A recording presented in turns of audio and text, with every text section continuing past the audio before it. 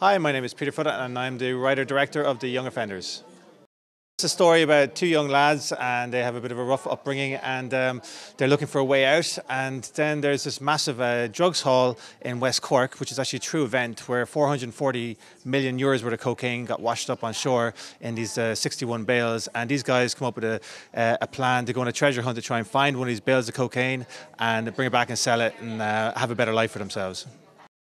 Well, there's that part of the story, and as well as that, myself and a friend of mine, when we were 15, went on this cycle trip to West Cork. So we actually did this route, and we weren't very smart at the time, and we did lots of things that went wrong, and uh, a lot of these stories ended up in the film. Uh, so I just got the two stories, which was this real life drugs haul that the police did, and uh, this real life cycle that we did, and put the two together to make the story.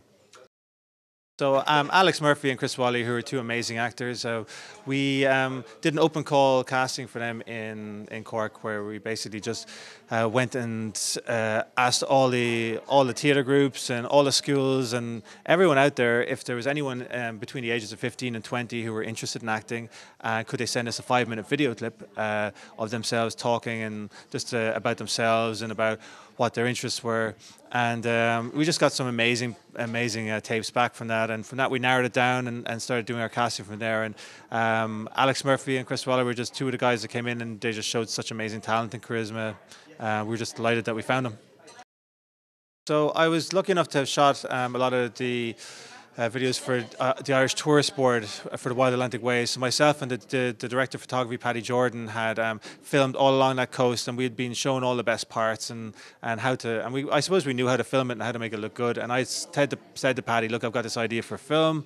It's pretty much what we've done before, except this time we're going to make a drama out of it." And um, and he came on board. So basically, that's that's how we kind of knew we knew how to we knew where all those, those great locations were, and that coast is just amazing. Anyway, it's just a very beautiful part of the world like this is this is definitely an out and out comedy. Um, um, but we like to think it's a comedy with heart, where you get to know the characters and you fall in love with them, and you actually care about what's going to happen to them. You know, they have had a tough upbringing. You know, they they they come from they come from broken families, and they really are just out to have an adventure and to try and get a better life for themselves. And I think um, tonally, it's it's got all those the like all those fun adventures that kids go on, like films like uh, I suppose inspire films that inspired us were like Stand by Me and Goonies and things like that. But also it does have that part where you know that these guys have got a very real threat in their in their real lives that they need to, to try and um, that they that they need to try and escape.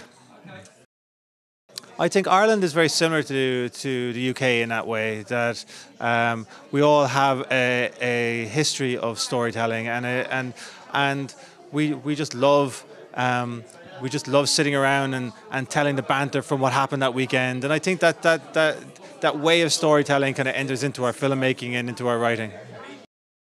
And I'm looking around here at all the other filmmakers and the amazing films that are here. It's just amazing to be um, to be included in, the, in this. And it's my first time at London Film Festival, so we're really excited about being part of it and seeing other films. For us, it's about um, being able to bring our film to another country and for, for people from that country to stand up and take note of, of what it is. I mean, we've we've had our release in Ireland and it's this is a this is the first time people are going to get to see it in the cinemas in the UK and, and this will hopefully kickstart our UK um, our, our UK distribution.